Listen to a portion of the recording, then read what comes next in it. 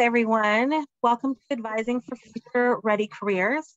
My name is Laura Ross, and I'm a school counselor in Lawrenceville, Georgia, the Counselors for Computing Consultant.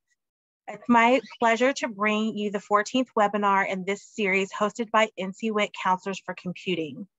Each month, we connect you with thought leaders at the cutting edge of technology. This series offers a unique opportunity to dive into the intersection of computer science with traditional and non-traditional STEM fields, also known as CS plus X. Throughout the presentation, we'd love for you to submit questions through the Q&A feature on the toolbar at the bottom of your screen. And we will also be sharing resources in the chat feature found at the, in the toolbar at the bottom of the screen as well. The National Center for Women and Information Technology, NCWIT, is a nonprofit community of more than 1,500 universities, companies, nonprofits, and government organizations nationwide. NCWIT equips change leaders with resources for taking action in recruiting, retaining, and advancing women across the entire computing ecosystem. Before NCWIT, programs focusing on women and computing existed mostly in isolation without the benefit of shared best practices, effective resources, communication with others, or national reach. Today, these programs are part of the NCWIT community, creating a far greater impact than if institutions acted alone. Counselors for Computing, or C4C, is one of the programs in the NCWIT K-12 Alliance. The NCWIT Counselors for Computing program provides information and resources that help counselors join the front line of the computing conversations. We bring people and programs together with professional development, knowledge, and resources to give all students access to transformative computing careers. And we wouldn't be here today without the support of our sponsor, the Department of Defense STEM. They're the largest employer of scientists and engineers in the nation. DoD STEM offers educational programs, internships, and scholarships for students and many career development opportunities for educators. We'll share with you in the, in the chat the website for DoD STEM so you can learn more. Now I would like to introduce our presenter for today, Dr. Tara Nkrumah.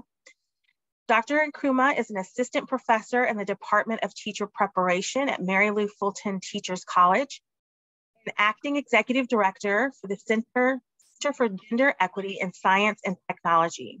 Her research on equitable teaching practices for anti-oppressive discourse in education and science, technology, engineering, and mathematics uses theater of the oppressed to explore culturally relevant and responsive leadership and pedagogy. We will share, have shared with you a link in the chat to her research as well. Thank you um, for joining us and welcoming Dr. Nkrumah. I will turn it over. Oh, try this again. Welcome everyone. Thank you, Lauren, for the introduction. I, I, bring everyone greetings from Phoenix, Arizona, where it is actually cold, cold for us uh, because it's in the low 70s and, and 40s. So before we get started, I, I wanna say now that this is hopefully gonna be an active engagement with you and your participation, even though we're not together in person, I do want to start out with a poll, and the poll will make sense. I'm asking you to complete this, and then we will refer back to it at the end of my conversation with you today. So I'm going to give you a few moments to answer the first poll question. There are two in total. So you should see on your screen the first question.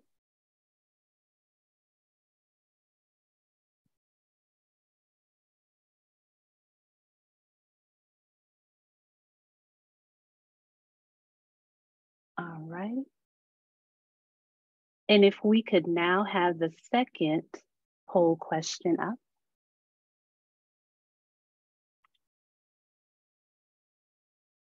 All righty. Everyone give you a few moments to answer the second and last question.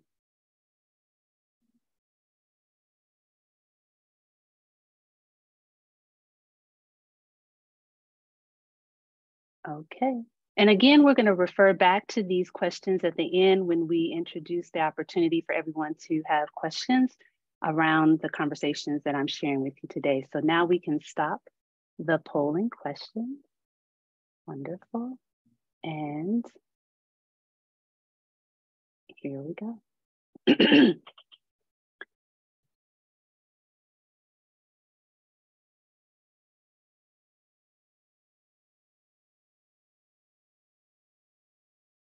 Give me one second. All right. So for today, we're talking about the topic of culturally relevant pedagogy, particularly in the context of thinking about it as something that is done for all.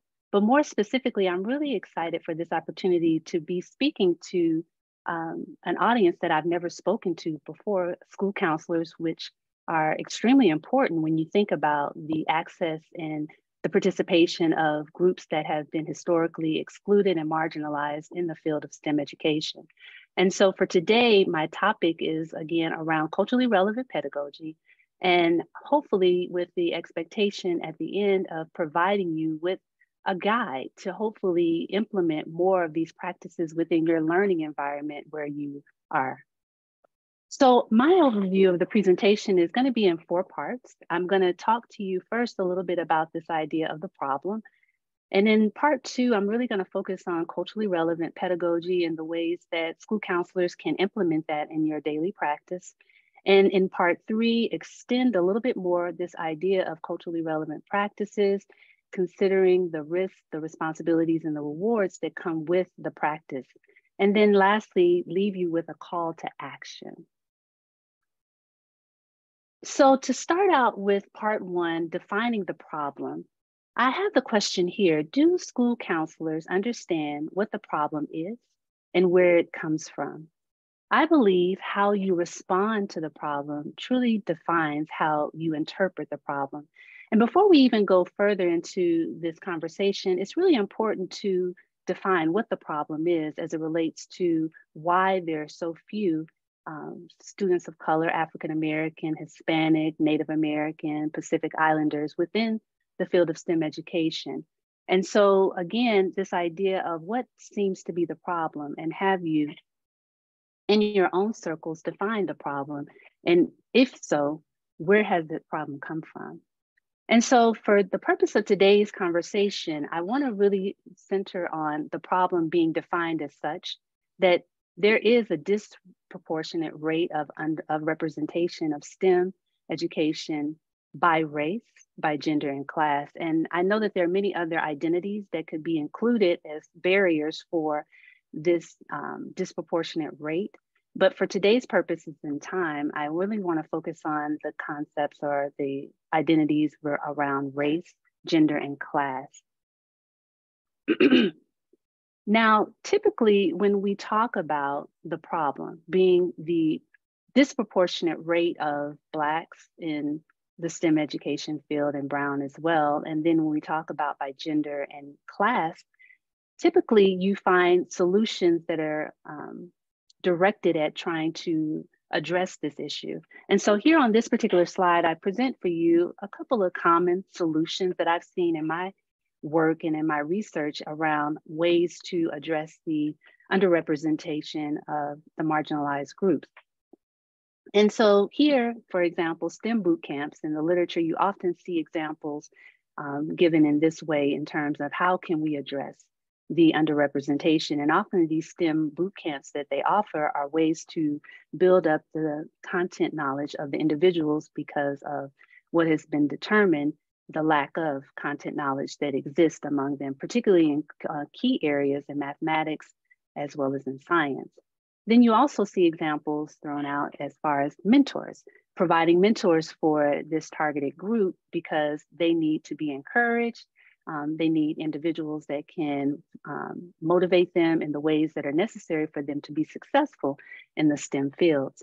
And then for those of you who have been in the classroom and who experience this concept of drill and kill approaches, where often to again address the lack of representation by the targeted groups, teachers are encouraged to provide opportunities to help them exercise their skill building in these areas and often presenting opportunities for them to practice, practice, practice, and do drills that would help reinforce their content knowledge. And then of course, the traditional ways of tutoring, which is another option that is often uh, used as an opportunity to address the underrepresentation by the group.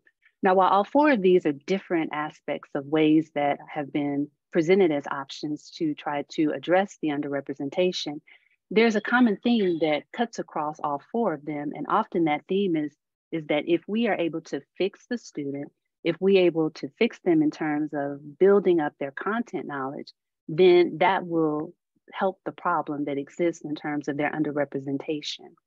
Now, despite this, these solutions to address what I call the symptoms related to the problem, the real issues for why students underperform, the lack of participation, the low numbers of Black and Brown students graduating from high school with aspirations within the STEM field um, are symptomatic of the bigger problems that happens because the problem has not been ac accurately defined or addressed. How does it feel to be a problem? I answer seldom a word, and yet being a problem is a strange experience, peculiar, even for one who has never been anything else. In 1903, Du Bois detailed the conditions of African Americans post slavery in his book entitled The Souls of Black Folk. Among the issues Du Bois examined was education and this disempowering effects of the racism and sexism that followed. For most culturally and linguistically diverse learners brought up in the American educational system, in particular, science, technology, engineering, and mathematics, STEM education, because public schools were not set up to promote culturally relevant pedagogy for non-white learners, they then become the subject of the problem. So the question that Du Bois discussed in his book, published in the early 1900s, Today brings us to this important conversation about the school counselor's role in STEM education to promote equitable teaching as well as learning.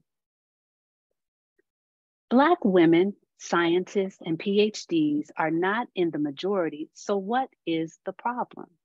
Growing up, I remember how my dad sacrificed to send me and my sister to a private school for middle school where my teachers, including the pastor of the Lutheran school where I attended, were all African American. For him, it was important that his girls' formative years were grounded in religion, as well as where education was incorporated into our culture. That foundation made a difference when I entered a predominantly white magnet high school and how I perceived my talent and career aspirations. So this picture that you're looking at here, where Du Bois is buried in Accra, Ghana, is where I visited in 1996 as part of my grandparents' legacy. I later permanently moved to Ghana in 2007 and was there for seven years. And while there, I taught at a uh, STEM education at an American international school that had over 65 different nationalities.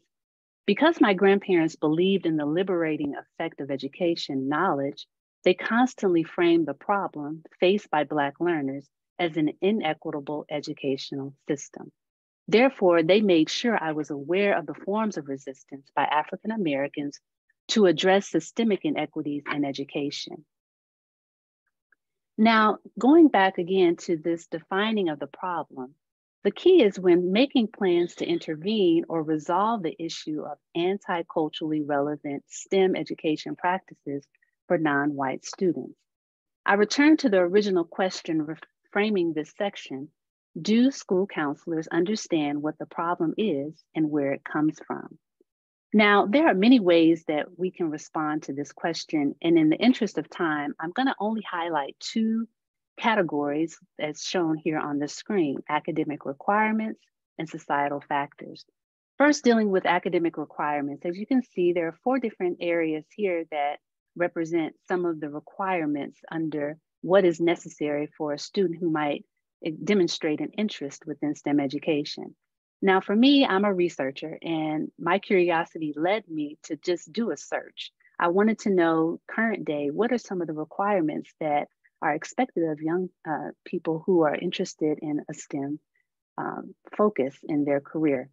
And so, as school counselors, knowing what is required is part of the work. So, none of this that I'm telling you is news to you. However, when examining from an equity lens, each of these requirements, as shown here, really reinforces narratives that non dominant groups are the problem and not necessarily the system.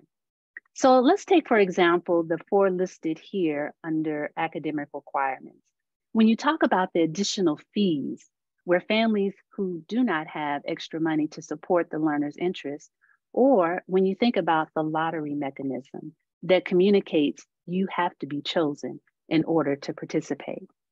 Now, the societal factors, even though we know societal factors tend to frame conversations around Black and Brown students in STEM education's lack of representation, their poor academic performance, or efforts to motivate them towards the field of study, what is missing from the conversation are the actual sources of the problem. Why do white kids not experience the same level of problems in STEM education classes as Black kids if, in fact, STEM education programs are designed to educate all people? So, what you see under societal factors are the barriers for non white student participation in STEM education due to broad categories like the resources, low socioeconomic status, not having equipment as you would find in some schools who are under resourced, having qualified teachers who are able to skillfully teach students the content knowledge that they need to know. And then also you have resistance that happens among the students to code switch where they are forced to ma mask their identity in order to fit in.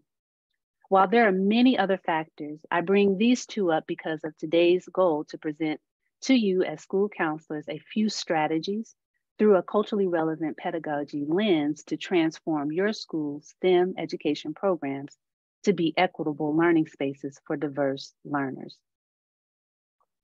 Now, part two, transitioning from the what to the how of equitable learning and teaching in STEM education. So it wasn't until I had been teaching for over 15 years that I realized, sorry, that I realized that when I changed the science STEM curriculum to include the omission of Black and Brown inventors, the scientists, the technologists, the engineers, and the mathematicians, or when I assess students using non traditional methods like drawing the process of photosynthesis instead of answering one to 10 questions at the end of the chapter and explaining to me how it relates to your life, or when I promoted civic engagement through a lesson on the urinary system and connected it to the bathroom passes to challenge school policy, that in fact I was modeling what culturally relevant practices were. When I started teaching science and math about 23 years ago at a predominantly Black and Brown high school, I perceived my work as a form of activism. By the school district standards, the students that I taught at the time were their math and science scores were below average. Instead of seeing the low performing trends as a symptom of anti-relevant, anti-culturally relevant teaching and curriculum, the problem continued to be defined by the identity markers. So then how do we move the conversation forward from what the problem is to the strategies for how to attain equitable learning and teaching in STEM education?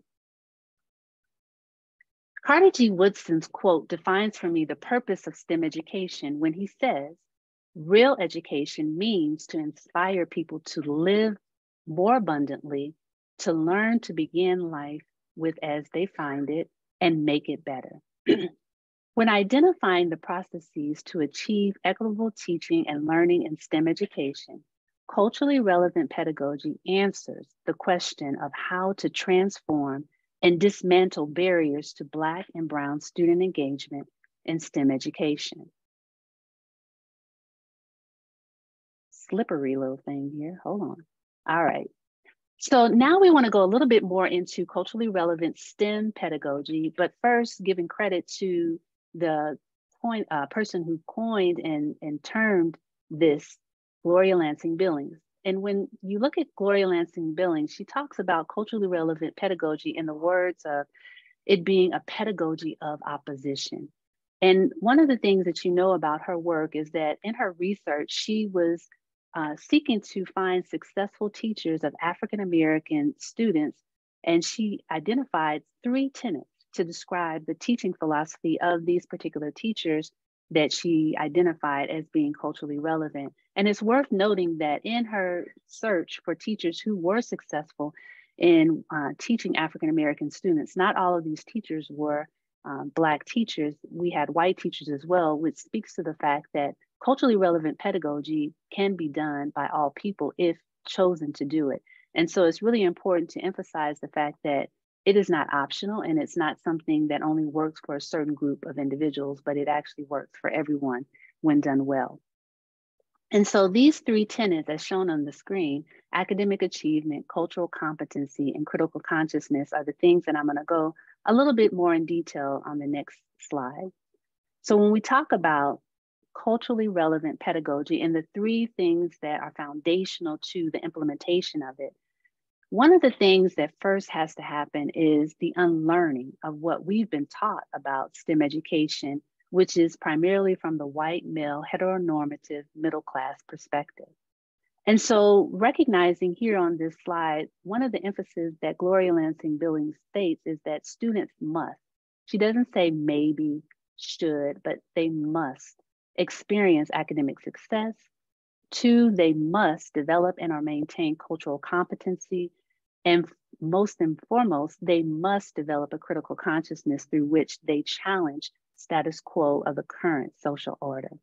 So when you look at each of these, and particularly academic success, it's this idea of allowing students to express knowledge in diverse ways. This was really important for me as a STEM teacher in the classroom, building relationships so that success was defined on an individual basis and understanding how I could nurture the interest that the students brought to that space and being able to be flexible to their needs and making the content relevant to them in ways that would uh, energize and inspire their studies within that field. But then also, when we look at maintaining cultural competency, it's this idea of normalizing the sharing of cultural norms, such as language, beliefs, values in the context of STEM content. And this is something that I really learned and valued when I taught in Ghana for the seven years that I did, where I had all of these different nationalities and I had to learn to make adjustments in order to connect with them. And so things like allowing them to speak in their native tongues as exercises of building and maintaining their cultural competency while also learning the STEM content was really important. And not only did it benefit them, it benefited the learning environment because now we were able to learn about the diverse ways that the content was being used and applied in different contexts. And then finally, critical consciousness development is where you have students reflect on and share their opinions while modeling that differences does not have to be interpreted as a bad thing. And this is really key. And often I notice that there is a lack of this exercise among students to exercise their opinions because of the way schools are set up to answer through multiple choice, A, B, C, or D, and not necessarily allow them to go outside of the box and share their opinions and ideas and see their thoughts and ideas as being something that is a different perspective. And so, really helping them to be critical and not for the sake of being argumentative, but being critical for the sake of being actively engaged and having an opinion that is based on evidence of their observations and thoughts. so, what then are the necessary revisions in order for us to be able to achieve and arrive at this point of practicing culturally relevant um, practices within our own work? And so, two things that I want to note here well, one of the necessary revisions would be within the curriculum. And so understanding how we define the purpose of the curriculum really influences the, the way students engage. Now, often I tell people, because I love writing curriculum, that everybody writes curriculum, whether you identify what you're doing as curriculum or not. But it's the idea that it's helping us to define what is the actual purpose. Instead of complaining, for the example of STEM education and the textbooks, because I'm really familiar with that, having been in the classroom for many years, that the content and the curriculum is not set up to include the diverse perspectives of groups of individuals who have been marginalized. And so, what I did, and often in my classrooms, was use the opportunities to point out the limitations as teachable moments. And this again goes back to the idea of really encouraging the uh, students to exercise their critical consciousness around what is happening around them and raising their awareness. And then going even step further beyond once recognizing it, what actions can be taken to dismantle and disrupt those inequities? So, how do I incorporate my voice and how do I demonstrate um, my culture within um, the content knowledge? And so, these are things that I encourage as a STEM educator in the field. And then also defining the purpose of STEM education as a tool for social change. And so, again, how is it that we are in, engaging the young people in terms of their purpose within the STEM field? Is it just to successfully pass the state exams? Or are you framing it in a way that they can actually see the content as a tool to make changes within their community and bring about some form of social uplift. I know I mentioned very briefly early talking about creating um, critical consciousness and thinking about the bathroom passes and the urinary lessons, making sure that connections are being made within science content that demonstrates how they can use that knowledge towards speaking against or pushing back and resisting on forms of oppression. And so when we talk about the other necessary revision would be within the pedagogy. And this really speaks to all of us as leaders in the classroom, particularly um, school counselors in your role. This idea of helping our students understand that they are also teachers and that they bring knowledge. And that looks like learning to share power. And so, as educators within our spaces, we've got to learn how to be learners as well as teachers because it's really important to demonstrate for them that they bring knowledge and that we as um, learners as well need to listen to them and value what they bring to that space in order to really exercise this sharing of power. I think it's really important to kind of define or at least speak a little bit about what equity is because equity is a widely used term but often I think in the context of STEM education, it's not really understood about how we actually arrive at equity. And again, culturally relevant pedagogy is the medium for me in terms of this idea of how do I conceptualize what it looks like to achieve or at least work towards equitable outcomes. And so, according to the equity literacy framework, equity is not merely about giving every student what they need to succeed in an individual sense, and one of the things that I really try to emphasize in our work, um, particularly, is the difference between equality and equity, and realizing that equality is not going to get you equity, um, particularly when you're talking about our target audience of um, African American, Hispanic, Native American individuals who have, and particularly girls, have been excluded from this field. And so the other point of equity is really looking at the process and doing that means to change the narrative from how can we fix the students to how can we fix the system. And so, really focusing on the policies and the practices. How can we clean up our cultures within the learning environments so that it is inviting and not hostile for those students who have seen themselves excluded from the field? Which now brings me to part three. This is the part where I really want to speak specifically to the ways you, as school counselors, can create a culturally relevant mindset in your role to transform STEM education using um, a few reflection questions that I have prepared for you. Now, one of the things that I do want to say is that I come across often whenever I do uh, workshops around culturally relevant pedagogy most people take on this as an activity. They want to know step by step how to do this. And I don't have um, a process that is any simpler than the idea of saying you got to build relationships with the audience that you're working with. And so there's no workaround. But even then, I say it's not something that is standardized because it changes. It changes with the audience that you meet. It changes with the days. It changes with the, the activities, things that are going on. And so it's really important that culturally relevant pedagogy is understood as a mindset where you are constantly working towards and working at it on a daily basis.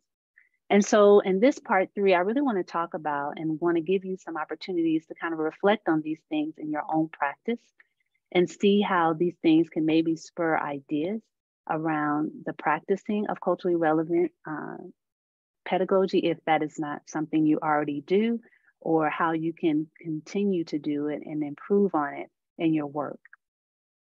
So we're going to talk about the risk, the responsibility, and the rewards. And so the first reflection question is around this idea of the risk. And so I titled this The School Counselor's Guide. And again, I know that this is not my area of expertise in terms of school counseling, but I do want to offer these up as suggestions to you, things that I think could be helpful. Because the first steps I believe in being a culturally relevant person is to be reflective and to really demonstrate uh, an intentional practice of always examining the things that are done by you, your behaviors, your thoughts, and, and ways that you engage with individuals. And so this again is just a guide that is full of suggestions for you to think about. And definitely, I welcome you at the end with any questions that you may have related to that. But the first one, let's talk about the risk, because for me, in my time, I've noticed that culturally relevant pedagogy, even though we know overwhelmingly the evidence has proven that it is a good thing to do and that it does benefit not only African American students, it benefits all students. And so there is this concept that I've seen, or the status of it has been pretty much optional. While people know that it's a good thing, not everybody is practicing. And I always ask why. And so there then becomes this idea of the risk. And so in my work, I know that often I got looked at for being culturally relevant because the things that I did weren't traditional in practice. And often the things that I did in my classroom with my students took a lot more time and took a lot more effort. And so, again, these things bring about certain risks, particularly when you are in this culture of high stake exams and teachers wanting to get highly effective on their evaluations. So, there are some risks that come with practicing culturally relevant uh, practices. And I'm assuming the same for you as counselors when you think about your workload and how many students that are on your uh, roster to see and to care for. And so, in the risk, the first question that I wanted to raise for you is Do your actions promote equity in STEM education? And so this is really important for those of you, if the question immediately comes to mind and you have the answer, great. But if for those of you, you're still thinking, um, that's also okay as well. But one of the things that I want to stress is it's really important to think about your day to day actions. How, uh, how is everything that I'm doing um, really promoting this concept of equity. How am I advising the young people that come into my space? How am I communicating and talking to other teachers and really ensuring that the things that they are doing in the classrooms, because that impacts your work, how is it really promoting STEM education and opening up opportunities for the young people of all backgrounds, class, gender, ability, and all things. So, how is that really promoting it? The other thing is do you define the work or does the work define you? I learned this pretty early on. When I started teaching, um, I didn't have the fear, and maybe that was a good thing, of the state district standards dictating what I did in the classroom. For whatever reason, when I started teaching, I had this boldness about the fact that I knew what I wanted to do and I knew that my work was defined by the work of making sure that I was disrupting the system.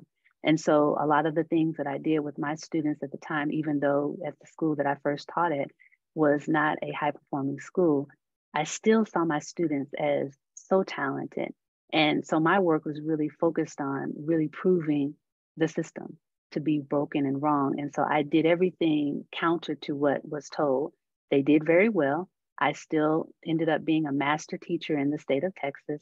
But the thing was, is that I did not let the district define what I do, but I defined the work. And I knew that the work was, for me, a form of activism. It was making sure that they, the students, were not the problem, but the system was a problem. And that my response to the problem was rather to make sure that they receive the tools and the resources and the confidence that they needed and so, as school counselors, I'm wondering and I'm asking of you are you collectively thinking about how the work is being defined.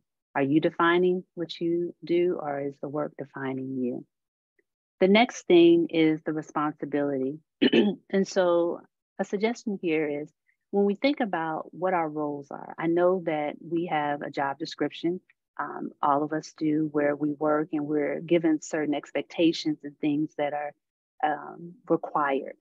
But then I wonder when we talk about the over, the over underrepresentation rather of our Black and Brown kids in STEM education, it's a narrative that keeps getting played over and over again, and I'm really tired of hearing it.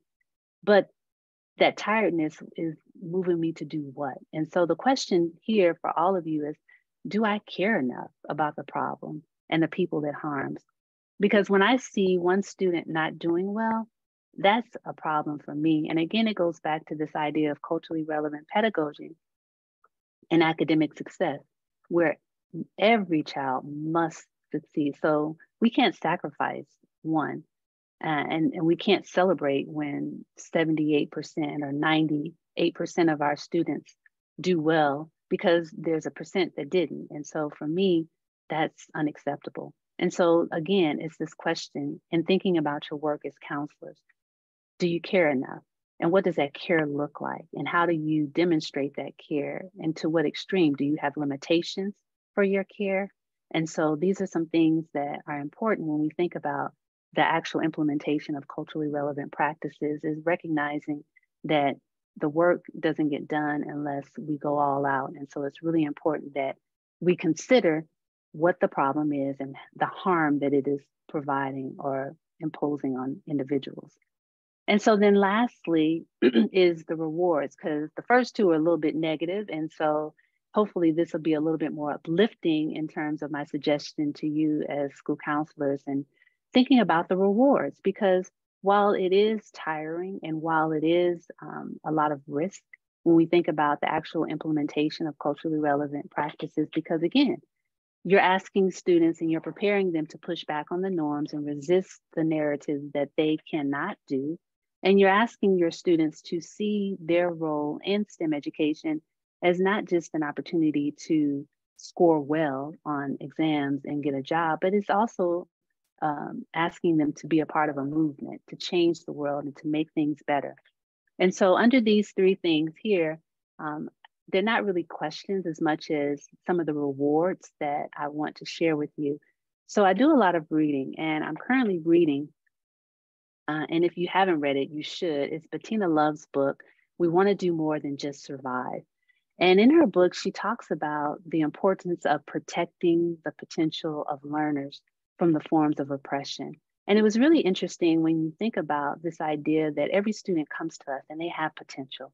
And that potential is important when you think about the contributions that they can make to society. And so she talks about this idea of, you know, her love for playing basketball and how in her community, there were people, key players that protected her potential, that made sure she was safe when she came and went from the basketball court.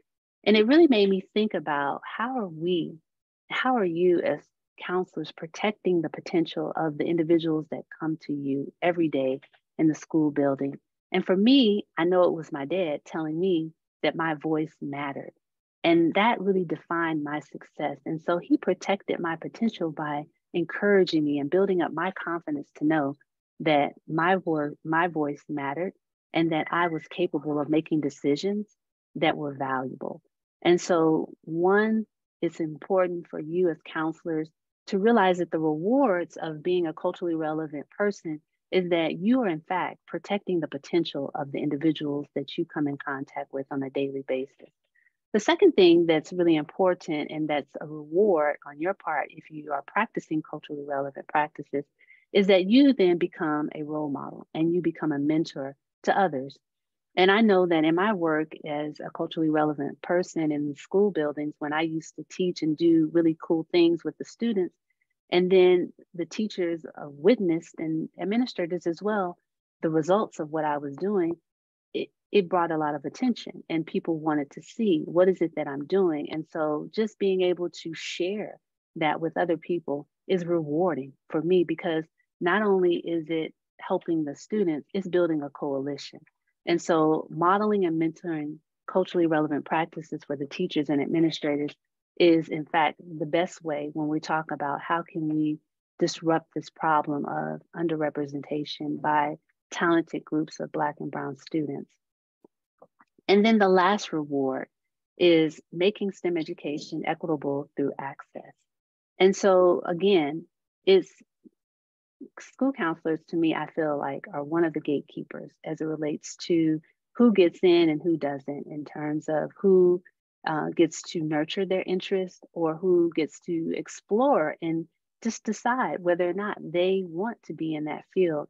And so for me, as I shared with you earlier, some of the barriers that most students are faced with, particularly if they come from uh, a low socioeconomic status or if they uh, have not had the foundational um, learning that they needed in the earlier years to really uh, grasp the concepts that they needed to, is you as the counselors being able to challenge those better barriers and be able to enter into or at least begin to question what are some of the processes that we've set up, the application processes.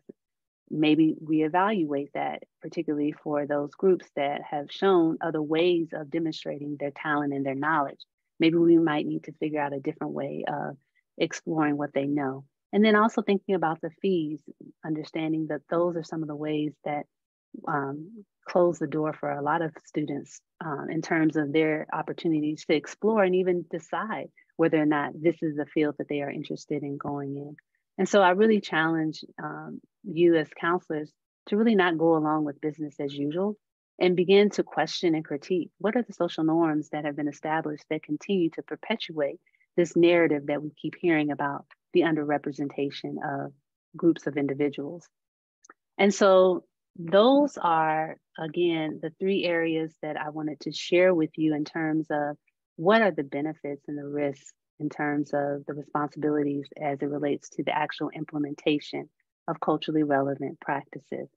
And so now that leads me to the final part, which is the call to action. And I'm going to ask that Lauren or Maureen bring back up the polling questions that we had earlier, the great reveal, to see how you guys did. And I'm going to use that as the jumping point for us to begin to have conversations, or at least for you to begin to um, ask questions. So the first one, and I'm trying to see, I'm, I'm assuming that everyone can see the results. And so question one, is the implementation of culturally relevant, and did I not, pedagogy the standard in your school environment? And so, interestingly enough, more than not said no, that this is not the standard in your school environment, which again kind of brings me back to what I said to you earlier is that culturally relevant pedagogy tends to be an option and not a mandate for schools, which is unfortunate when we already know the evidence shows that culturally relevant pedagogy is the best way in terms of making sure all students are well served and that they have the opportunities that are necessary for them to live out their potential. And so 67% of you said no. So hopefully we can work on that after today, uh, giving you opportunity to sit and share from this um, conversation. So let's see what the second poll question is. All right. So the second question, would the students you counsel describe your practices as culturally relevant?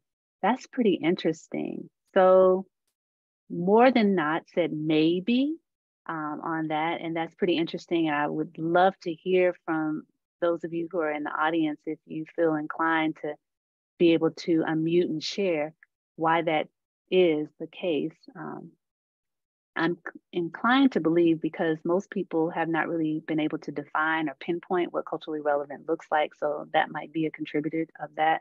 But it's good to know that um, not many of you said no. So I'm really happy to hear that.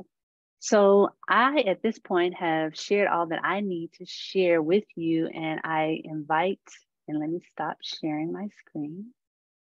Um, I invite um, the questions and whatever else happens after this point. Thank you so much. Um, this was awesome. I was getting excited about the quotes you were sharing. um. Mm-hmm. So we do have a few questions. Um, let's and we'll try to get to as many as possible. So I think mm. um, one of the questions is, and it relates to I think that the first poll question about um, it not being a standard in the mm. school building um, is how do you have um, any advice on how to navigate those systems with obstacles related to being culturally irrelevant? You know, some people question it, some people think it's something it's not. Um, how do you navigate those obstacles in the system? Awesome. So it's really interesting.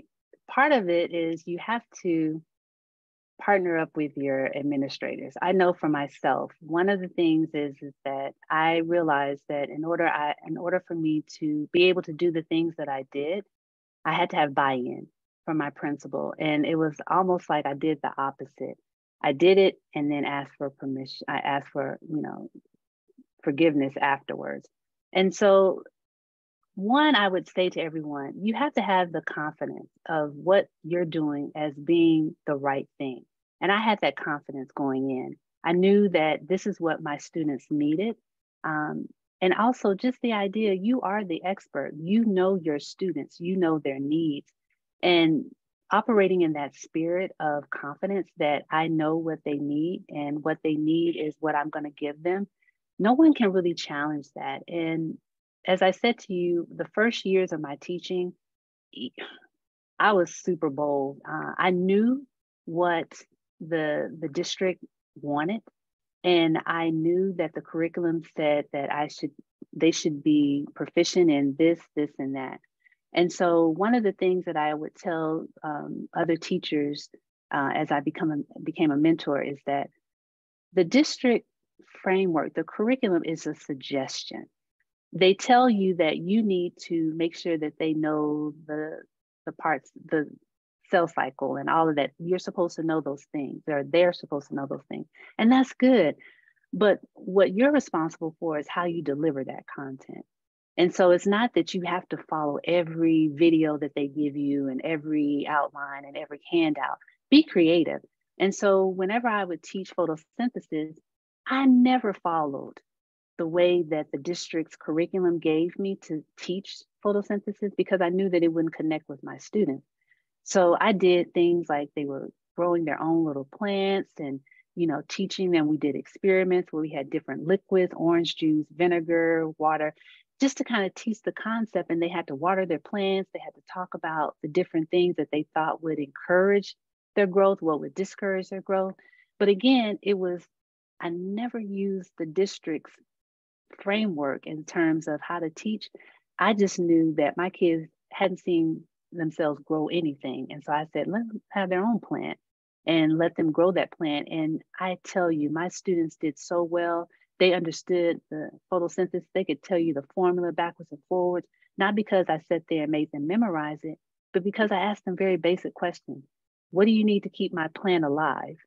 And, and we just went from there. And so I would say that one, it's really helpful. It was helpful for me to get buy in from my administrators. And what does that look like? That looks like sharing with them what it is my process is and what I'm doing, inviting them into the classroom to witness what is going on in my space so that they can observe for themselves because sometimes it sounds a little bit abstract. But then I tell them, don't worry, when you see my students perform on the exams, which they did, I wasn't preparing them for exams. I was just preparing them for life. And as a result of that, they did well on the exams. Those were the things that really made the difference. So I would say, again, unlearn what you've been taught in terms of what makes good teaching, what makes good practices, and really get to the heart of saying, I'm doing this for who? And cater to them. And that was all I did. That's all I cared about was my students. I didn't care about anything but making what they needed available to them and that always looks different than what, for some, the district offers. Awesome. Thank you for that. And kind of related to that too, a question around you brought up um, in the rewards, being able to model and mentor for colleagues, other educators. So, mm-hmm. a question in relation to that is there any sort of specific thing that you found successful in mentoring to colleagues, like a way to get their buy in? Um, to for them to be open, I guess, to the modeling that you're doing. Absolutely. So, one of the things that I know is for the most part, this work is a bit abstract and it's extra work. And so I would always volunteer myself to support them in their work. Hey, do you want me to come in your classroom and support you as you try out this new way of teaching? Hey, do you want to use some of my resources that I put together and, you know, use it with your students to see how it works? A, a lot of times there's a willingness to do it, but there's just I don't know how to do it. And often I would do role playing with my teachers. So, like in our off period, we would role play in the classroom and play it out to see how it would work. Um, many times I was the head of the science department. And so during our science department meetings, we would do role playing where we would set it up and we would act as students and and give opportunities and be the difficult kids and you know the fun kids and the kids that you know are easygoing so for a lot of them mentoring and role modeling is allowing them opportunities to role play and you would be amazed how that raises a lot of their confidence and then also what i tell them is that everything is not going to work things are going to fall flat even i tell that to my students who are going through my classes is that how can I help you deal with the disappointments? Because I have a whole section on it, dealing with the disappointments. When you have created this fantastic lesson and you already know that they're going to applaud when you do this and, and it doesn't work. They're just looking at you, nobody's asking questions, and, and you've completely failed. So then how do I deal with that? And so that's another important thing is not giving them this pie in the sky that is just wonderful and everything is going to be, you know, rainbows and all of these unicorns. It's not. And so I think one, what's helpful is being real with them, is also being available to them. It's also encouraging that when things go well, celebrate yourself. But then when things go bad, also be okay with that and use that as good feedback. Because I tell them if things don't go well, that's great feedback because then it tells you what you need to do differently. And so it's really helping people understand to develop thick skin. This requires thick skin where you are not so sensitive to the point where I just quit, I'm giving up. Because if that's the case, then you won't make it. And so, again, it's just role playing, teaching them to accept that it's not always going to be good, but that's okay. And we're going to get back up and we're going to do it again. And so those are some of the ways that I, I work around that. Those are awesome. Those are great suggestions. All right, I think we have time for one more. I'm actually going to combine two questions in this one last question.